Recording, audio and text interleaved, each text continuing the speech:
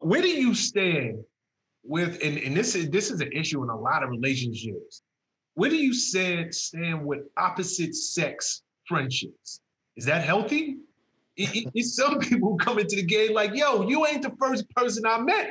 I, I got a lot of friends and they just happen to be female. Or yeah. conversely, women like I got a lot of friends and they're male.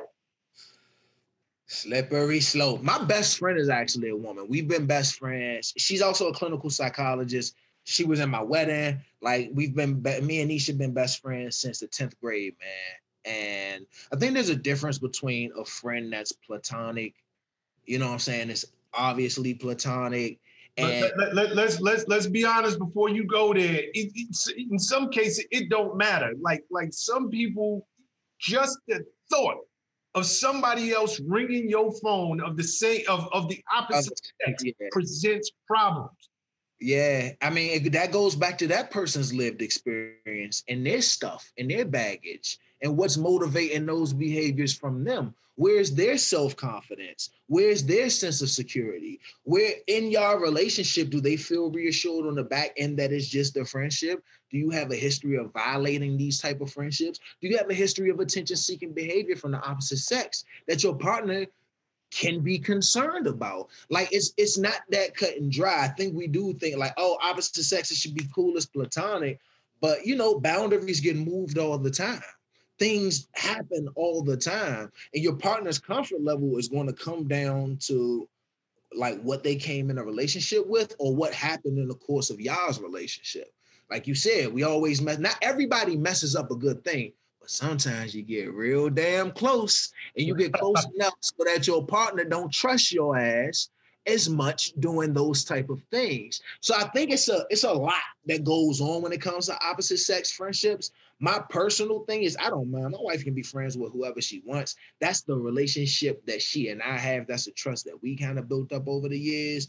Um, she's the kind of woman where I feel like she doesn't need that like that type of energy from her friendships. Like, what's the motivation for the friendship? For her, I honestly believe it's just to be a friend. I could be wrong. I ain't stupid, you know, but that is the trust that I'm giving her in this relationship. If you don't have that trust, then that situation is impossible. You can't, you can't do that. You can't, uh, uh, you can't give somebody a check when they ain't got no money. Like, what, what you cutting it from? There ain't no money in the bank. So I think people need to take a good hard look at what their relationships look like holistically. Uh, but if everything's lined up, I think friends of the opposite sex are so powerful, man. I have two really good female friends, and bro, they just give me perspective that the homies cannot. You know, they've, right. they've been invaluable to my marriage, to my mental health, to my perspective on what goes on with women in the world, because I don't always understand what goes on with black women, because I don't always understand. And I need that shit broken down in this most simplest form by somebody who's not going to judge my ignorance and who knows me intimately.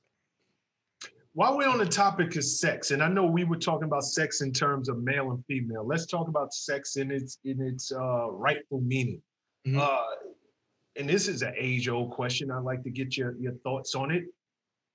How long should a person wait? You out there, you're dating, you're looking for Mr. Right, or you're looking for Mrs. Right? How long should you wait before you engage in sexual activities?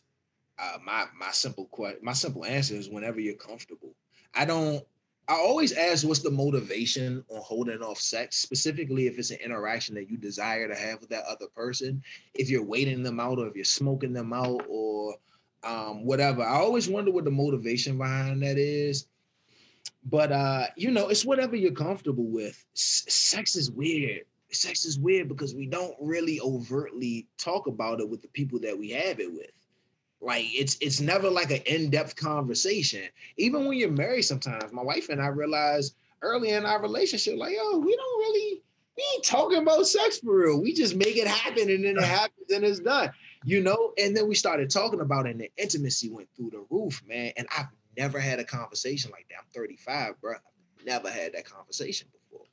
So I don't I don't know. I don't know the benefit of making someone wait. Um, I don't know. It could be circumstantial. It could be situational. I don't know. I, my questions all my answer is always going to be when you're comfortable, and my question is always going to be, well, what motivates this? What's the reason behind it? And then examine that and see if those efforts will actually lead to the outcome. Because if you're single and you're holding off sex, everyone knows there's eight other numbers in this phone. Like you're holding off sex with you. I'm still getting money over here. So, uh, so um, yeah, yeah, it, will come down to that that answer and that question for me, definitely.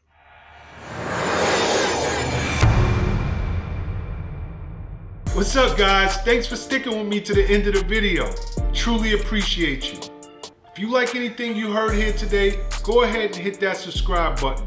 And if you know anybody that can benefit from this message, feel free to share. Peace and love.